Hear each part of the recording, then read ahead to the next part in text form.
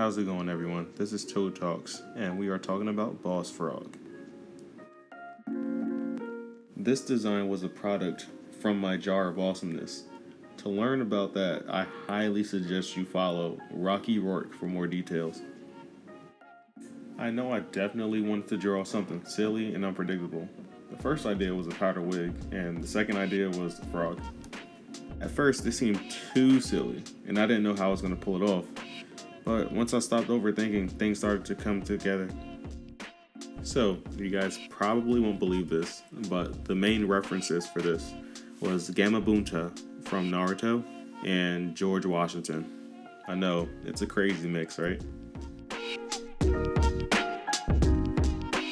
This is literally the best part of picking things out of the jar of awesomeness.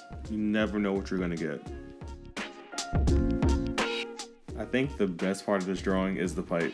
I feel like it really unifies and brings everything together and gives this guy so much character. My least favorite part was working on the legs. I could have added more detail, but I didn't want that to be the main focus of the drawing, so I kind of stylized them. Overall, this was a fun exercise, and after this, I think I should definitely draw more characters with powder wigs on. I don't know, what do you think? So that's all I want to talk about today. Please enjoy the rest of the video and let me know what you think in the comments below. Peace out from the toad.